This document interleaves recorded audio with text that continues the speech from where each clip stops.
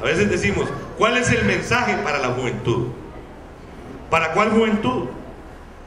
¿Para la juventud de las universidades privadas?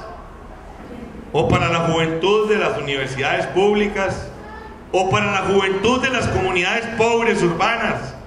¿O pobres rurales?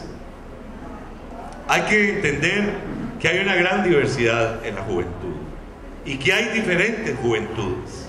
Cometemos el error de tener una visión que llaman adultocéntrica, o sea, que vemos a los jóvenes desde la perspectiva de los adultos.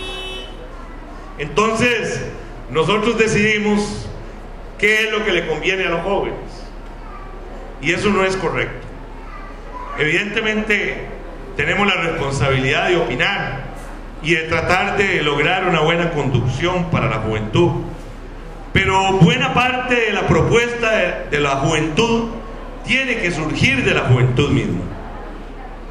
Y yo estoy tratando con los jóvenes que me acompañan en este movimiento de que eso que llamamos el poder de la gente joven no sea una, un recurso publicitario la pobreza no se combate con asistencialismo, no se combate regalando diarios, se combate generando capacidad de la gente para triunfar en la vida, para ser exitosos en la vida. Y por eso yo creo mucho en lo que les decía de la educación, tanto formal como informal, creo mucho en la tecnología. Esas son algunas de las ideas que yo quiero compartir con ustedes no como recetas, sino como propuestas que los jóvenes deben revisar.